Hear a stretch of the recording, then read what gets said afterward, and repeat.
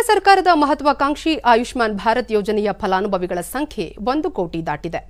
ಈ ಹಿನ್ನೆಲೆಯಲ್ಲಿ ಪ್ರಧಾನಿ ನರೇಂದ್ರ ಮೋದಿ ಎಲ್ಲ ಫಲಾನುಭವಿಗಳಿಗೆ ಅಭಿನಂದನೆ ಸಲ್ಲಿಸಿದ್ದಾರೆ. ತಮ್ಮ ಟ್ವೀಟ್ ಸಂದೇಶದಲ್ಲಿ ಅವರು, ವೈದ್ಯರು, ಆಶಾ ಕಾರ್ಯಕರ್ತೆಯರು ಹಾಗೂ ಆಯುಷ್ಮಾನ್ ಭಾರತ್ನೊಂದಿಗೆ ಸಂಪರ್ಕ ಹೊಂದಿರುವ ಎಲ್ಲರಿಗೂ ಶುಭಾಶಯ ಕೋರಿದ್ದಾರೆ. ಆಯುಷ್ಮಾನ್ ಭಾರತ್ ಯೋಜನೆ ದೇಶದ ಬಡವರು, ದಲಿತರು ಹಾಗೂ ಸಮಾಜದ ಎಲ್ಲ ಕೆಳವರ್ಗದವರು ನಂಬಿಕೆ ಗಳಿಸುವಲ್ಲಿ ಯಶಸ್ವಿಯಾಗಿದೆ. ಕೇವಲ ಎರಡು ವರ್ಷಗಳಿಗಿಂತಲೂ ಕಡಿಮೆ ಅವಧಿಯಲ್ಲಿ ಈ ಯೋಜನೆ ಅನೇಕರ ಮೇಲೆ ಸಕಾರಾತ್ಮಕ ಪರಿಣಾಮ ಬೀರಿದೆ ಎಂದು ಪ್ರಧಾನಿ ಉಲ್ಲೇಖಿಸಿದ್ದಾರೆ.